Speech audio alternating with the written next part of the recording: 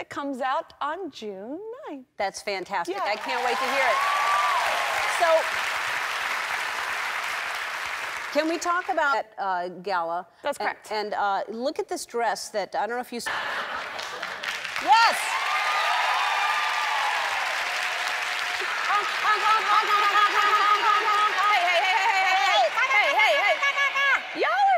And I feel very, very comfortable. Yeah, it's, we're back with Katy Perry, and uh, you're about to go on tour, and uh, right. you are September. You are single, and Right.